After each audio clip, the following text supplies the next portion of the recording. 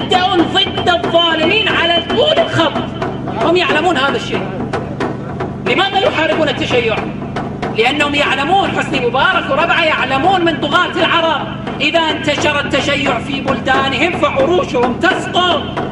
يعلمون ذلك لأن التشيع مبدأ ضد الظالمين. لماذا يسموننا الرافضة؟ لأننا نرفض الظالمين. هؤلاء الحكام الخونة الطواغيت الطغاة. أنذركم بما أنذركم به جعفر بن محمد الصادق صلوات الله عليه. إمامنا الصادق قال كلمة ما زال صداها يرن في أذن التاريخ إلى يومنا هذا وهي بمثابة إنذار لكل طاغية من طغاة العرب. قال صلوات الله عليه كما في الكافي الشريف ويل لطغاة العرب من أمر قد اقترب. هذه المقولة من إمامنا الصادق عليه السلام هي إنذار لكم ويل لطغاة العرب من أمر قد اقترب. هكذا قال صادق آل محمد عليه السلام وهو يشير إلى حفيده الموعود. مهدينا وتاج رؤوسنا الذي سيأتي ويقتلعكم ويسقط عروشكم هذه العروش التي تجبرت وجثمت على صدور هذه الشعوب المظلومة. اليوم هذه الأمة تتجه نحو التشيع لأنها علمت سقوط ما يسمى بين قوسين الإسلام السني. هذا الإسلام الذي يعود الشعوب على الخنوع والاستكانة والذل للظالمين والطغاة. تعلمون مبدأ تلك الطائفة.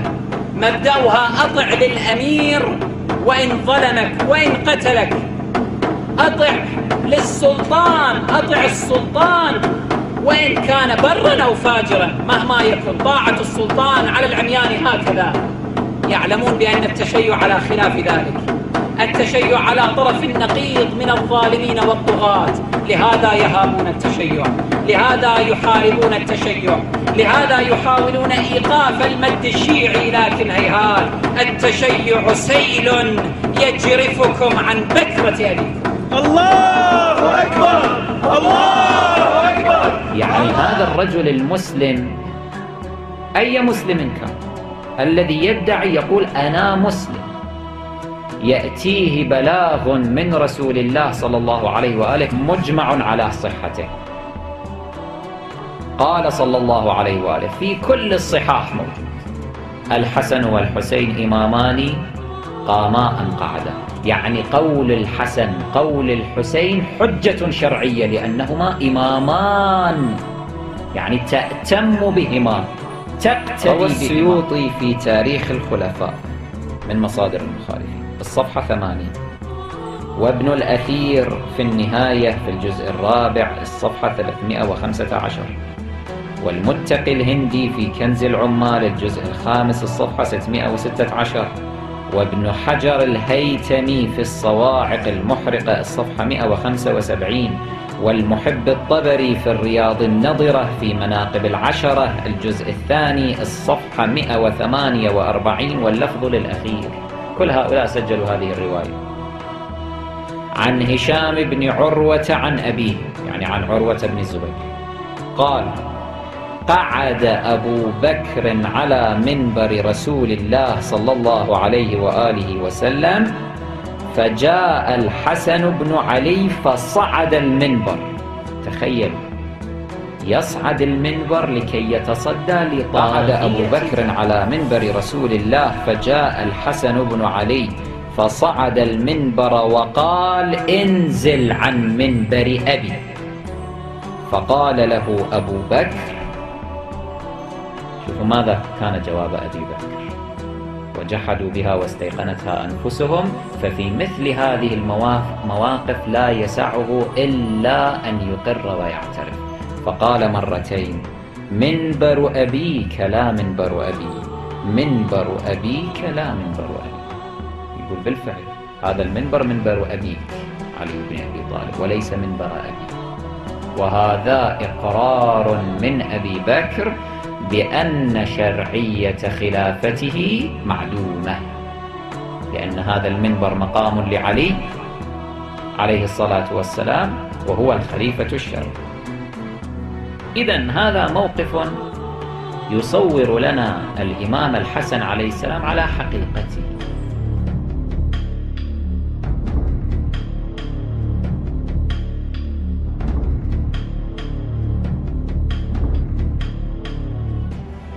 هاي الآيات الآية الكريمة السابقون الأولون من المهاجرين والأنصار فيها اسم أبي بكر فيها اسم عمر ما فيها أسماء هؤلاء.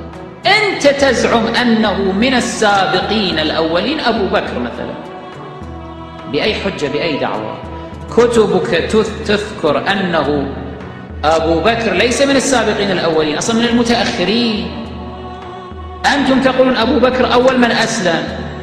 واحد من صحابتكم يقول لا أصلا ما كان أول من أسلم ولا الثاني ولا الثالث ولا الرابع ولا العاشر. ولا العشرين. سبقه في الإسلام أكثر من خمسين. فإذا أبو بكر فاته القطار. لا سابقين أولين ولا بالطيخ. فاته القطار خلاص. اقرأ معي هذه الرواية في تاريخ الطبري. في الجزء الثاني الصفحة ستين. والبداية والنهاية لابن كثير. الجزء الثالث الصفحة 28 عن محمد بن سعد بن أبي وقاص. هو يقول يقول قلت لأبي سعد بن أبي وقاص فاتح دولة المجوس. زين. قلت لأبي أكان أبو بكر أولكم إسلاما؟ فقال لا. هذا حكي الأغبياء. فقال لا ولقد أسلم قبله, قبله أكثر من خمسين. فإذا مو من السابقين.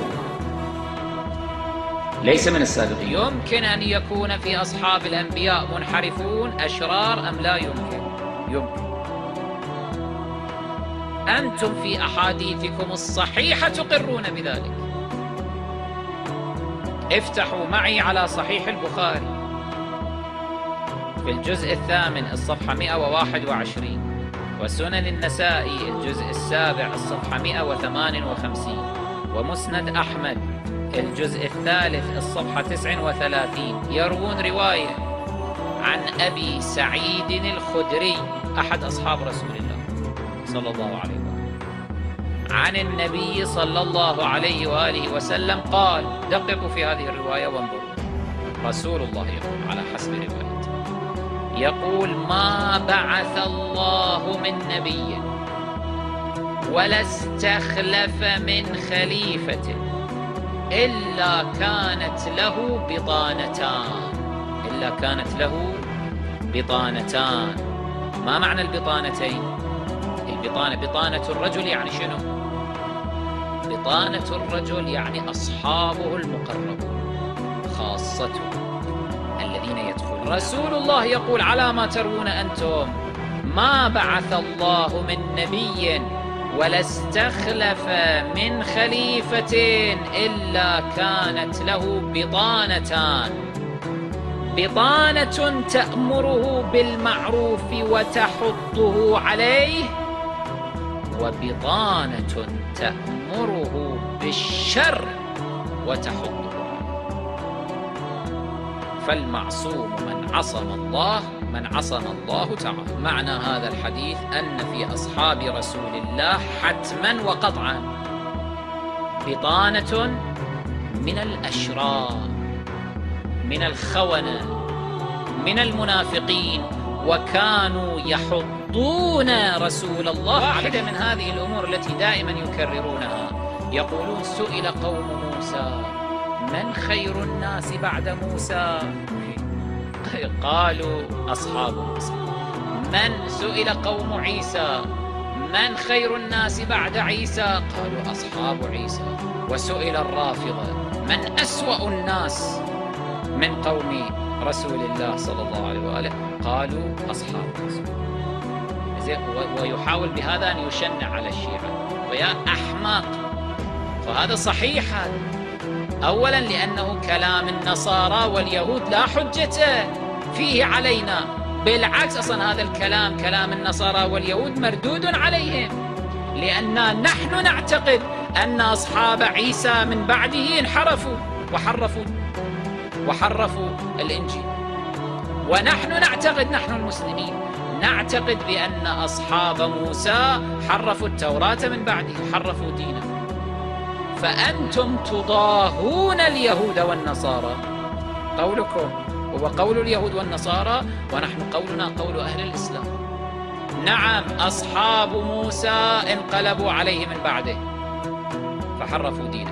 أصحاب عيسى انقلبوا عليه من بعده وحرفوا دينه. أصحاب رسول الله انقلبوا عليه من بعده وحرفوا.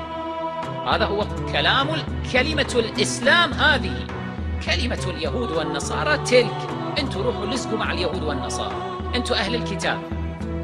خصوصا أنه إمامكم ماذا يقول؟ لما قيل له هاتوا دوات وكتف لرسول الله ليكتب لكم ما لا تضلوا بعده أبدا ماذا أجابه قال حسبنا كتاب الله. لا نريد السنة إحنا. إحنا لا نريد سنة رسول الله. نريد فقط كتاب الله. فإذا أنتم أهل الكتاب. ما تريدون السنة. ليش تقولون إحنا أهل السنة. أنتم أهل الكتاب. يا أهل السنة أنتم أهل الكتاب مو أهل السنة. نحن أهل السنة. قال رسول الله صلى الله عليه وآله ألا ومن مات على حب آل محمد مات على السنة والجماعة.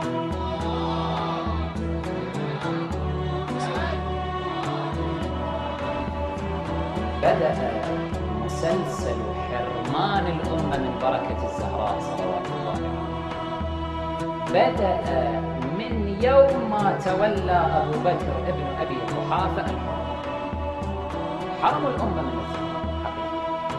حرموا هذه الأمة المكتوبة من الزهراء ولهذا هذا أحد أسباب بغضنا لأبي بكر بن أبي قحافة. شيء واضح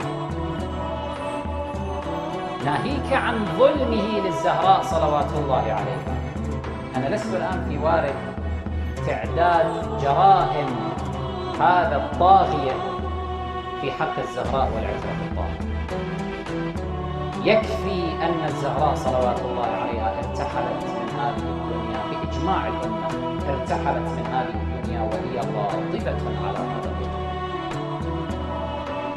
يكفي أن تعرفوا أن إحدى جرائمه أبو بكر وأسفاه أنه هذه حقائق ما تطلع حتى تهز شوية شعور من يقول أنا مسلم. في مصادر أهل الخلاف اقرأوا كيف أن أبا بكر لما خرج من طوره خرج عن طوره أثناء محاجفة الزهراء إياه في المسجد النبوي الشريف شبهها بأم طحال الزاني. هذا أبو بكر. اقرأوا تعليقه هذا. الوفد السافل كيف يقول عن الزهراء؟ يقول هكذا. وابحثوا أنتم في المصادر. كأم طحال حبب إليها أهلها الذل هذا كلام أبو بكر. اقرأوه في كتاب السقيفة للجوهري اقرأوه في شرح النهج لابن أبي الحديد. اقرأوه في غيرها من المصادر. مصادر أهل الكلام مصادر. أنا أريد أسأل من هو هذا الذي يقول أنا مسلم ويقبل أن تشبه بضعة رسول الله بامرأة زانية مشهورة هذا أبو بكر الذي تفخرون به. هذا الذي تريدون منا أن نرضى عنه كلا والله. لا يمكن لنا أن نتنازل عن مبدأ أننا لا نرضى عمن غضبت عليه الزهراء. إحنا موقفنا موقف الزهراء. إحنا موقفنا موقف فاطمة الزهراء صلوات الله عليها من ماتت أو استشهدت وهي راضية عنه نقول رضوان الله تعالى عليه وعلى رأسه. من استشهدت وهي غاضبة عليه فإنا نلعنه ونبغضه ونجعله تحت حباله كائنا من كان. نحن ننحاز إلى الزهراء على طول الخط. هذا موقفنا هذا موقف أئمتنا أئمة أهل البيت صلوات الله عليهم. هذا موقف بني هاشم. هذا موقف شيعة أهل رواه الحلب في تقريب المعارف عن أبي إسحاق أنه قال صحبت علي بن الحسين عليهما السلام بين مكة والمدينة فسألته عن أبي بكر وعمر ما تقول فيهما؟ شوفوا جواب الإمام السجاد. ماذا قال ما عسى أن أقول فيهما لا رحمهما الله ولا غفر لهما. كافران كافر من تولاه هذا موقف الإمام السجاد. صريح وحاق فإذا صريح وحاق نحن غضاب لغضب. لسان حال بني هاشم لسان حال الأئمة الأطهار لسان حال شيعتهم الأبرار. قول الشاعر أتموت البتول غضبا ونرضى؟ ما كذا يصنع البنون. لا يمكن. أمي تموت غاضبة على شخص ظلمها وأنا أرضى عنه إذا أكون عاقا ولا يمكن أن يسجل علينا التاريخ أننا نحن شيعة أهل البيت. يوم من الأيام والعياذ بالله نعق الزهراء صلوات الله. إياكم أيها الإخوة إياكم أن تستمعوا إلى بعض التيارات المندسة في التشيع العظيم. هذه التيارات التي تدعو الآن إلى المصالحة. نعقد مصالحة مع أبي بكر وعمر. خلص أمر قد مضى. ذهب وولى. راح انتهى. شو علينا إحنا بخلافات من قبل 1400 سنة؟ وهذا الكلام الذي تطرحه بعض الأحزاب الضالة. وهذا الكلام الذي يطرحه بعض من لا يخافون الله. يريدون إرضاء مشاعر أهل الخلاف على حساب إغضاب الزهراء صلوات الله عليه. هذا مو كلامهم إياكم تستمعون إلى مثل هذه الكلمات الفاسدة. الدعاوى التي تكسر قلب صاحب الأمر صلوات الله عليه. أبدا. نحن لا صلح ولا نقبل أبدا بأن نرضى عمن ظلم الزهراء. صلوات الله عليه. هذا موقفنا إلى الممات. الشيخ البهائي بأبيات قاصمة للظهر حقيقة أبيات عجيبة وجميلة جدا. قال يا أيها المدعي حب الوصي ولم تسمح بسب أبي بكر ولا عمرا كذبت والله في دعوى محبته. تبت يداك ستصلى في غد سقرا فكيف تهوى أمير المؤمنين وقد أراك في سب من عاداه مفتكرا؟ شلون تدعي أنا أحب أمير المؤمنين؟ صلوات الله عليه. وأنت متردد وتتفكر في أنه يجوز سب أعدائه أم لا يجوز. يعني يجوز سلب أعدائه بغض أعدائه أم لا يجوز. فكيف تهوى أمير المؤمنين وقد أراك في سب من عاداه مفتكرا فإن تكن صادقا فيما نطقت به فابرأ إلى الله ممن خان أو غدرا وأنكر النص في حم وبيعته وقال إن رسول الله قد هجرا. هذا الذي يتهم رسول الله بأنه يخرف بأنه فقد قواه العقلية. هذا أكبر مجرم. هذا أكبر مجرم. هذا ما تبرأ منه؟ هذا لا تبرأ منه. أتيت تبغي قيام العذر في فدك؟ أتحسب الأمر بالتمويه مستترا؟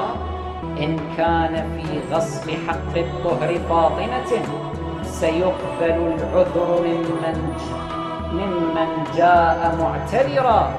فكل ذنب له عذر غداة غد وكل ظلم ترى في الحشر مغتفرا فلا تقولوا لمن أيامه صرفت في سب شيخيكم قد ضل أو كفرا. بل سامحوه وقولوا لا نؤاخذه عسى يكون له عذر إذا اعتذر. إذا أنت تدعي أنه أبو بكر وعمر الله أعلم ماذا يأتيان به من عذر إذا اعتذر. نفس الشيء نطبق علينا إحنا تنسب أبو بكر وعمر. لا تقولوا لمن أيامه صرفت في سب شيخيكم قد ضل أو كفر بل سامحوه وقولوا لا نؤاخذه. عسى يكون له عذر إذا اعتذر. فكيف والعذر مثل الشمس إذ بزغت؟ والأمر متضح كالصبح إذ ظهر نحن عندنا العذر بأن نبغض أبا بكر ونلعن أبا بكر ونسب أبا بكر هذا شيء طبيعي. هو الإمام الباقر صلوات الله عليه لما سئل عن أبي بكر وعمر قال أدركت قومي آبائي وأجدادي وهم يسبونه. إلى هذه الدرجة. سب المؤمن حرام أما سب الكافر المنافق رموز الضلالة هذا حلال. حلال. قال رسول الله صلى الله عليه وآله إذا رأيتم أهل الريب والبدع من بعدي فأظهروا البراءة منهم وأكثروا من سبهم كي يحذرهم الناس ولا يتعلمون من بدعهم هذا كلام رسول الله. الله تبارك وتعالى وصف بلعم بن باعوراء بالكلب الذي إن تحمل عليه يلهث أو تتركه يلهث. فشخص مثل أبي بكر يسب فاطمة الزهراء ويشبهها بأم طحال الزانية تكون له حرمة؟ لا نرجع إليه الصاع صاع. فكيف والعذر مثل الشمس إذ بزغت والأمر متضح كالصبح إذ ظهر لكن إبليس أغواكم وصيركم عميا وصما فلا سمع ولا بصر. هذه كانت قصيدة الشيخ البهائي في رده على ابن حجر دعاء أمير المؤمنين الذي يرويه شيخنا المفيد رضوان الله تعالى عليه. ماذا يقول فيه؟ هاي الدعاء أدعية أهل البيت فيها تعاليم. لاحظوا أمير المؤمنين عليه السلام ماذا يقول في ضمن دعائه؟ يقول اللهم إني أعوذ بك أن أعادي لك وليا أو أوالي لك عدوا أو أرضى لك سخطا أبدا. اللهم من صليت عليه فصلواتنا عليه ومن لعنته فلعنتنا عليه. اللهم من كان في موته فرح لنا. شوف هنا الشاهد. أمير المؤمنين يدعونا إلى أن نفرح بمن كان في موته. فرح للمؤمنين فرح للإسلام والمسلمين. اللهم من كان في موته فرح لنا ولجميع المسلمين فأرحنا لا شك أن الطاغية أبو بكر ارتحنا منه وارتاح منه المسلمون يوم هلك لا شك. وكذلك الطاغية عمر وكذلك الطاغية عثمان وكذلك الطغاة من بني أمية وبني العباس وإلى صدام وإلى ما شاء الله من الطغاة الذين نسأل الله تعالى أن لا يتعاقبوا على هذه الأمة وأن يعجل الله تبارك وتعالى فرج إمامنا صلوات الله عليه حتى ينقذنا منهم ومن أشياعهم. هؤلاء الذين حرموا هذه الأمة من بركة أهل البيت حرموا هذه الأمة من مناقب أهل البيت من قيادة أهل البيت من القيادة الربانية. نسأل الله تعالى أن يخلصنا منهم وأن يجعل المؤمنين في مشارق الأرض والغرب سالمين آمنين في عزة وكرامة ونصرة وتأييد بحق محمد وآله الطاهرين.